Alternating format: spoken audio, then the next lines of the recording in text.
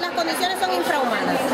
Eh, los niños, niños, niñas y adolescentes que aquí conviven con nosotros están en condiciones malas, pésimas. ¿Por qué? Porque no tenemos sistema eléctrico, está colapsado. Eh, las cloacas están colapsadas. No tienen un filtro donde tomar agua, por supuesto que filtro van a tener. aquí no hay condiciones. O sea, mejor condición tiene una cárcel, pienso yo, que las condiciones que presenta actualmente la institución. Y esto se ha ido deteriorando al pasar de los años.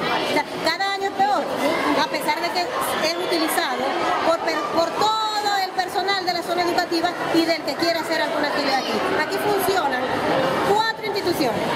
El Liceo Don Pérez, el, Liceo Elías Sánchez Rubio, que es nocturno, la Universidad Nacional Abierta los sábados, la UPEL. Los, los, los también vienen acá y utilizan las instalaciones. La zona educativa utiliza unos salones como depósitos para guardar material como pupitre, pizarrones y no nos botan a nosotros.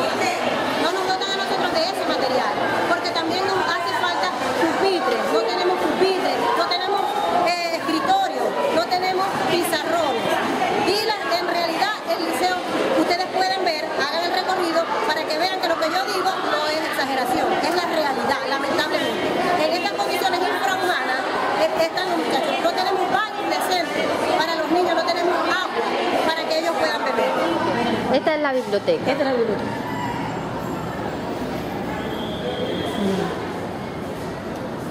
Ajá, usted es representante, ¿qué nos podría decir?